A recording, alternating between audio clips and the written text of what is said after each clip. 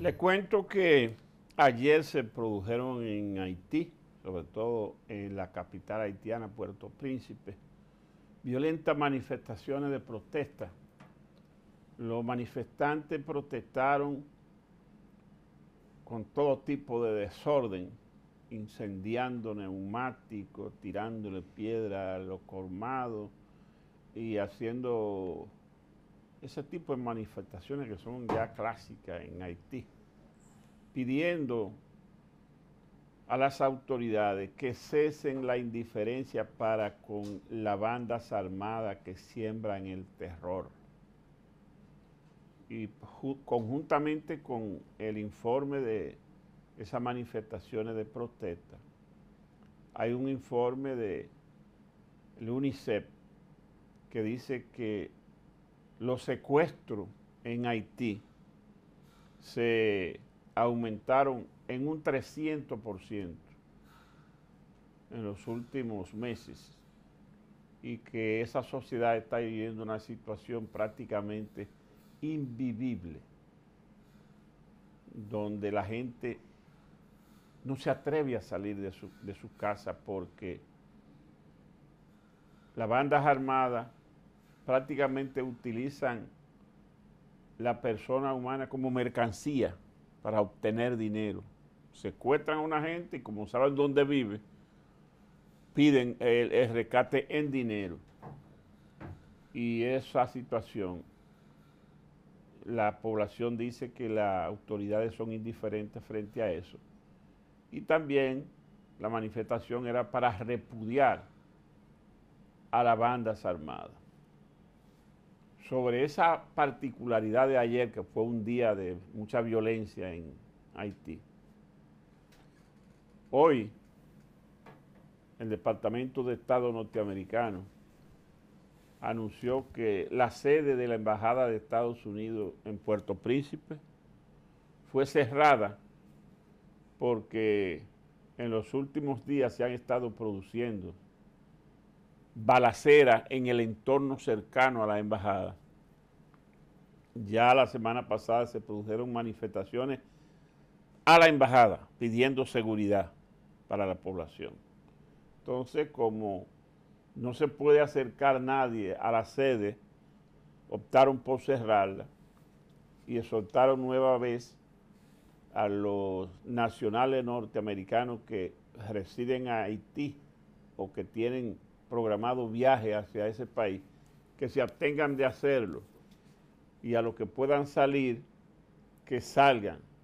Ya el personal no básico de la embajada había salido hace un par de semanas y ahora se cierra totalmente la embajada, ustedes podrán darse cuenta del el estado crítico que se está viviendo en ese empobrecida país. Sobre la eventual fuerza militar internacional que Kenia va a liderar, eso está en un punto muerto, porque eso hay que someterlo al Consejo de Seguridad de Naciones Unidas y eso lleva a un protocolo y a hacer un consenso a ver si China y Rusia, que se, se están mostrando en desacuerdo, lo aprueban, porque eso es por unanimidad y si no, no se puede dar. Mientras tanto, Kenia dice que ya en esta semana va a enviar una comisión exploratoria para ver el tipo de equipo, el tipo de soldados y de policía para el orden que ellos van a llevar entre los mil hombres que están preparando. Es decir, que Kenia sigue eh, con la oferta de encabezar el contingente militar a otros seis países de África y de aquí el entorno de la región que también se han ofrecido con equipo y soldados para acompañar a los kenianos. Estados Unidos ha estado informando que ellos van a correr por el costo económico, igual que Canadá. Canadá va con el costo económico y con una delegación de soldados también, pero menor. Estados Unidos no habla de soldados, sino del, costo económico. De soldados en la región habla Jamaica, habla San Martín, la islita de San Martín, van a mandar una docena, quizá 20 soldados, y El Salvador, que tiene fuerzas especiales policiales bien entrenados, y Chile también, que tiene instructores policiales, van a enviar. Por supuesto, para poder organizar Haití, lo primero que tiene que haber es seguridad. Hay que poner a raya esas bandas. Hay que entender que Haití no se resuelve solamente con que haya un contingente militar y policial entrenado. Haití tiene un problema de inviabilidad como Estado, un Estado colapsado, un Estado fallido. En consecuencia, en Haití hay que pensar en un plan de mediano a largo plazo integral. Algunos colegas le han puesto como una especie de plan Marshall, aquel que se instaló luego de la Segunda Guerra Mundial para evitar que los países europeos se convirtieran hacia el sistema socialista. Una propuesta que concibió eh, un general norteamericano apellido Marshall. No recuerdo ahora el nombre completo, pero evidentemente fue una recuperación integral de infraestructura, de las instituciones, de su economía, de todo.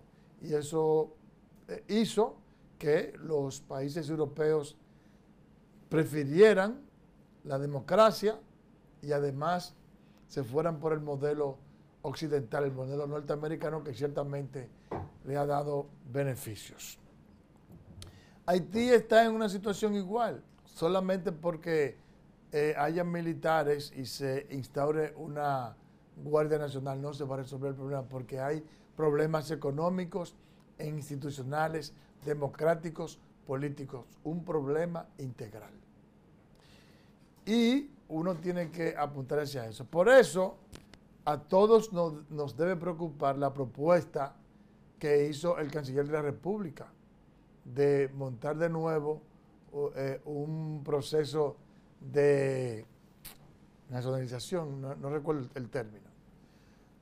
Eh, eh, el caso es que volver a montar el mismo proceso de Danilo Medina, que terminó regularizando, proyecto de regularización, terminó regularizando a 300, unos 300 mil haitianos, en este momento no es lo adecuado. Aquí ahora mismo hay alrededor de, 2 millones de haitianos.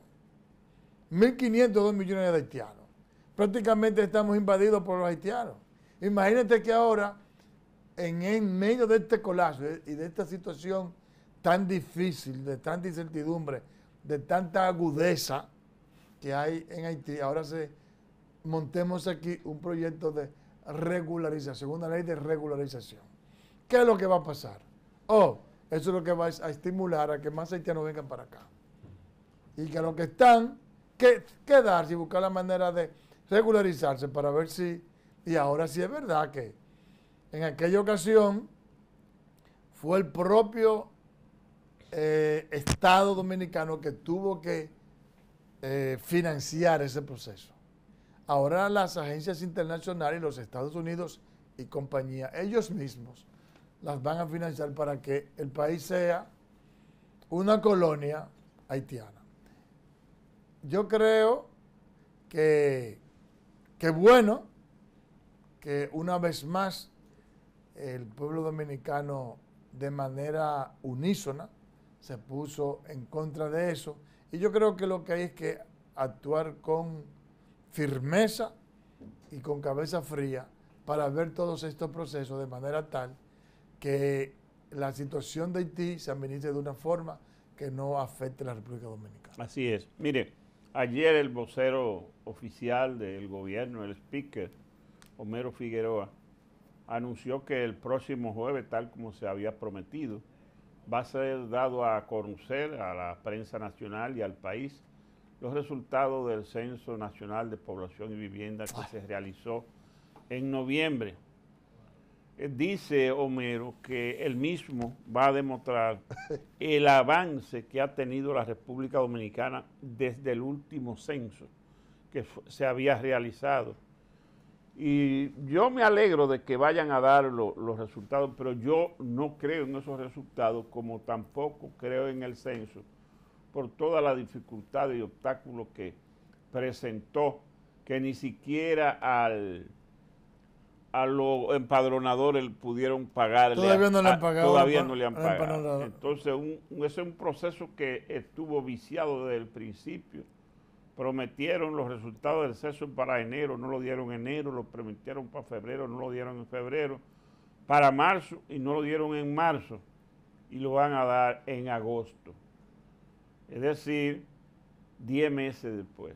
Dice Homero que el tiempo en dar los resultados es el más rápido que se ha, que se ha presentado en el país, que ninguno de los censos anteriores se dio antes de ese tiempo que ellos se han tomado. Pero lo que Homero no, no toma en cuenta es que estos son otros tiempos, ya estamos en la era digital, la era de la comunicación, y que lo que antes se tomaba 100 días, ahora se toma un par de horas para usted computarlo y buscar resultados. Todo está digitalizado. El problema del censo es que no tiene credibilidad porque no se hizo con el orden que la gente quería. Y son miles y miles de, de personas que no fueron censados. Uno sabe que ningún censo cubre el 100% de la población que hay un segmento que se hace proyectado. Pero aún así, lo que salga de ese censo, la gente no lo va a creer. No, Freddy, ya nos dijo la Junta Central Electoral que va a utilizar los datos del censo del 2010. Sí. ¿Eh? Porque lo que hay no es creíble. Nadie cree en eso. Pero aparte de eso, lo que se hizo mal no puede ser utilizado para hacer ningún tipo de diagnóstico. El problema no es si se hace, si se si se hace, si se dan temprano o rápido los datos. El problema es si los datos son creíbles y si son ciertos. Y ese es el problema. Que todo el mundo sabe todos los problemas que sucedieron en el transcurso de ese censo. Al punto de, como tal usted dice, a los empadronadores ni siquiera le han pagado. Y que hay una cantidad importante que ni siquiera fue censada y en consecuencia, como no fue censada, no, no hay datos precisos y creíbles. Eso es lo importante. ¿Cuál es el problema de este gobierno? Es que nadie le cree a este gobierno porque todo está bien. Sí. De acuerdo a ellos, todo Aparentemente. El censo se hizo bien y todo el mundo sabe que fue un disparate. El sistema eléctrico está bien y, la tarifa está altísima y, y hay apagones de 8 o 9 horas. La educación está bien y hay 700, oiga, oiga, don Freddy, quieren alquilar aulas móviles. ¿Por qué? Escuelas móviles, porque faltan escuelas. Y hay 704 escuelas que por el asunto jurídico o porque han sido abandonadas, están ahí, que no se van a terminar. Y la educación de mal en peor. Y la, y, y, la salud está mejor, pero, todo, pero, la gente se está muriendo porque no hay eh, medicamentos eh, para enfermedades de alto costo. Y la delincuencia está bajando, pero todo el mundo está asustado. Y, se resuelve el problema de, pasaporte, pero si tú vas, duran 6, 7 meses para entregarte el pasaporte. Y por ahí sigo. Y, y la y los alimentos están bajando. La inflación está controlada, pero cuando usted va, el arroz, el plátano, el pollo, la yuca, la carne de cerdo, todo está más caro. ¿Eh? Entonces, el problema es que para, para los funcionarios, nosotros vivimos en el país de la maravilla, pero en realidad vivimos en el país de las pesadillas. Eso es lo que está pasando. Así es. Mire, ayer me detuve a ver una rueda de prensa que convocó el ex ministro de Educación, el licenciado Roberto Furcar, donde él, en compañía de familiares y amigos, hizo el anuncio de que ya recuperado de las dolencias de enfermedad que lo aquejaron durante un tiempo y agotado el tratamiento, ya se encuentra en pleno estado saludable y que ha decidido incorporarse a su quehacer político partidarios a los fines de ayudar al partido revolucionario moderno en la tarea que tiene por delante de participar con éxito en las próximas elecciones, tanto la de municipales de febrero como las nacionales de mayo. El doctor Fulcar hizo la historia completa de la dolencia que lo aquejaron y dijo cómo se presentó y lo que lo llevó a que tuviera que irse del país a buscar eh, la, la sanación. Y también refirió que perdona a aquellos que lo denigraron.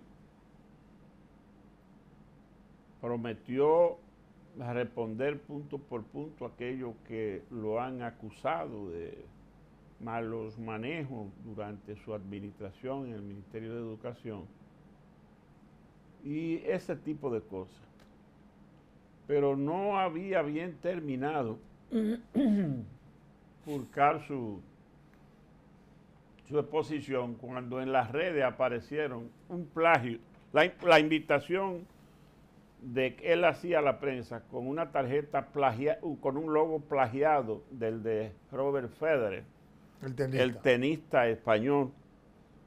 Y ahí está. Ahí ven ustedes la R de, Roberto Furcal y de Roger Federer. Él es el mismo logo. Y la F. y eso, eso constituye una vergüenza que un ex ministro de Educación, un dirigente político, eh, caiga en esos detalles vulgares. Yo pienso que eh, él tendrá que explicar eso, so pena de que eso sea un baldón sobre su conducta social. Eso es imperdonable y menos en una persona tan culta como Roberto. Y si no lo explica a él, que ponga a alguien a explicarlo, el creativo, la publicitaria que le hizo la invitación, pero eso está muy feo, de muy mal gusto, y habla de la poca seriedad de quien lo ordenó. Sí, y, de, poca imaginación. Y de todo lo que usted dijo. Mire, don Freddy, em, mire, yo insisto en que su gestión como ministro de Educación fue muy mala. Posiblemente la peor de la historia. Bueno, fíjense una cosa. Desde que el 4% existe, no hay una gestión más mala que la que ocurrió con Roberto Fulcar y lo que va de este también, que no ha hecho nada. Que no ha hecho nada. Ya hay por ahí un, escándalo de, un, de una licitación de emergencia que hizo para ganarse unos cuartos con un libro. Y, lo otro, lo otro gran, el otro gran anuncio, el de, el de ahora ha hecho tres cosas. Uno, acabar con Furcal.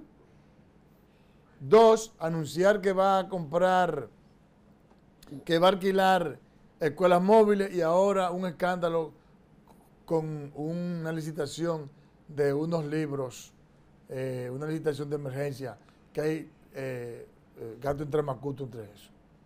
Pero la verdad es que de manera fulcar, con Fulcar, exceptuando que para mí lo hizo bien en la parte de cuando estaba la pandemia. Yo creo que él fue creativo ahí con las clases virtuales, pero luego uno pensaba que cuando las clases retornaran a la normalidad, ahí él se la iba a lucir.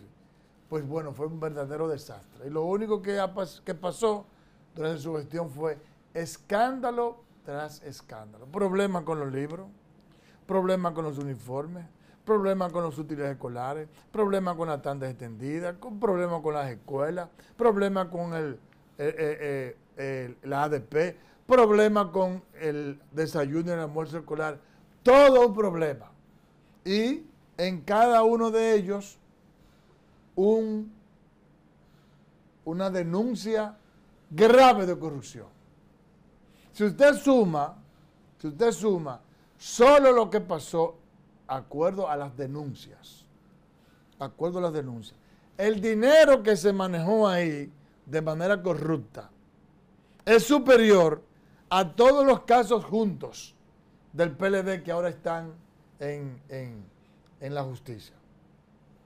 Entonces, lo único que pasó fue que lo destituyeron, lo pusieron un ministro sin cartera, después se enfermó, no le deseamos nada a su salud, todo lo contrario, nos alegramos de que haya mejorado y ojalá que su salud esté óptima. Ahora, yo pensaba que esa rueda de prensa era para responder a todas las denuncias que hay en torno a su gestión, que fue por asuntos de resultados muy mala. Yo no puedo asegurar, porque no tengo pruebas, de que eh, esas denuncias de corrupción son reales. Ahora, lo que sí yo sé es que la educación con él y con el actual ha ido de mala en peor.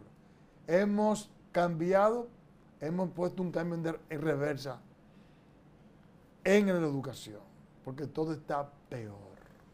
¿Cómo se justifica? ¿Cómo se puede justificar que hay 704 escuelas a medio terminar? No importa si están en temas judiciales, si fueron abandonadas. ¿Cómo carajo se puede justificar que, los estudiantes tengan que ir a, colegios privados o que ahora haya que alquilar escuelas móviles para hacerle, para poner a ganar dinero a un amigo? a un amigo ahora del nuevo ministro, y entonces las escuelas que están por terminar no sean posible terminarlas. No, hombre, no déjate de eso. Mundo, con el permiso suyo, vamos a hacer la pausa, ya regresamos.